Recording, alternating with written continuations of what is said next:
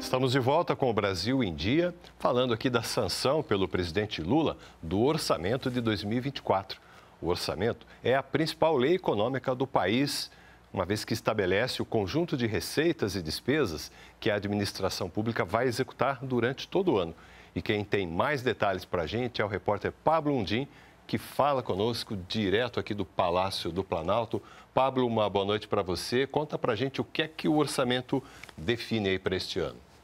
Boa noite, Roberto. Boa noite a você que nos assiste. Segundo o líder do governo no Congresso, o senador Randolph Rodrigues, o governo federal vetou 5 bilhões e 600 milhões de reais em emendas de comissão ao sancionar a lei orçamentária anual deste ano.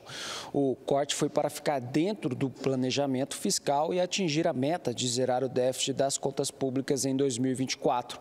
Com o corte, as emendas de comissões passam de 16 bilhões e 600 milhões para 11 bilhões de reais. Ainda assim, valor bem superior ao do ano passado, que registrou quase 7 bilhões de reais. Já as outras emendas previstas no orçamento aprovado pelo Congresso em dezembro de 2024 2023 foram mantidas pelo governo. Portanto, 25 bilhões de reais em emendas individuais obrigatórias e 11 bilhões de reais em emendas de bancada. O governo também manteve a decisão do Congresso em destinar quase 5 bilhões de reais para o fundo eleitoral, além dos 54 bilhões de reais de investimentos para o novo PAC.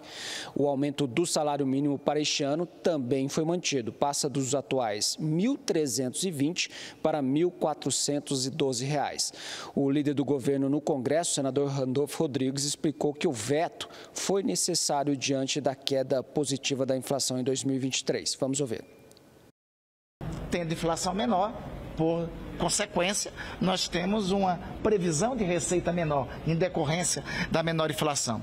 E isso impôs a necessidade de, em alguns aspectos, em especial, ter, ter, termos alguns vetos é o que ocorreu, por exemplo, em relação aos recursos de comissão que foram aprovados pelo Congresso Nacional, que era da monta de algo em torno de 16 bilhões, e aí, em, em torno é, desse aspecto, nós tivemos que é, é, destinar um veto de 5,4 bilhões, estabelecendo 11 bilhões para os recursos de comissão apontados pelo Congresso Nacional. Vamos agora debater e conversar com o Congresso para encontrar as melhores soluções necessárias.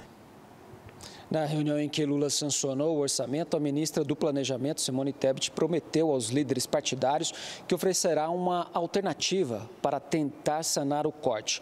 Com a lei orçamentária anual sancionada pelo presidente Lula, o orçamento deste ano prevê 5 trilhões e meio de reais em receitas e despesas. Mesmo com a queda de receita, a equipe econômica mantém o planejamento de zerar o déficit das contas públicas este ano.